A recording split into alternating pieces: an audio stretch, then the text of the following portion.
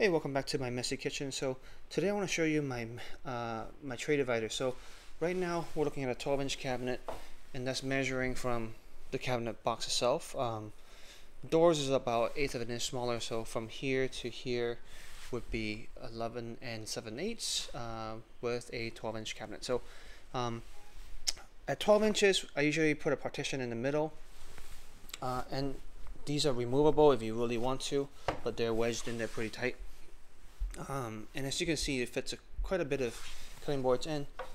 It's a nice one like this. Um, we're actually thinking about selling these online, uh, but yeah. Anyway, different story.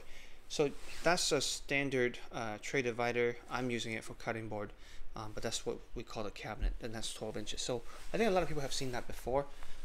Here, um, this is a 16 inch cabinet, and I call it the tray divider pullout. Um, we don't offer this yet as a standard item, but it is available for custom. Um, so what that is is just a stand, standard um, drawer construction. So we have, uh, in this case, I should, when I say standard, um, I mean this particular kitchen um, is ordered with solid wood dovetail maple, and so we're following that uh, with the same construction. And with a 16 inch cabinet dimension, uh, I'm able to fit about a 5 inch partition on the left, 3 inch here, and 3 inch here. So um, that would be 3 and 3, that's 6, and then plus 5, that's 11 inches. And then we got these um, thickness of the partition. So the drawer box itself, these are 5 8 solid wood maple. Um, you have four of those partitions, so you're just a little shy of 3 inches there. So we're at 14.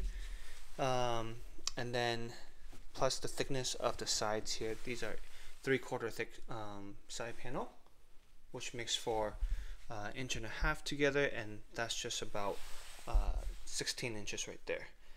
Um, one thing I want to point out um, I find this to be a little bit loud um, not because of the hardware itself but um, sometimes these pans tend to rattle when you pull them out um, so that's the only downside that I see. But other than that, I find it to be super convenient uh, to have these, uh, to be able to pull them out. And I do, um, I do have two ovens, so um, I put them, I put the baking pans right between. So pretty handy and convenient. Okay, thanks.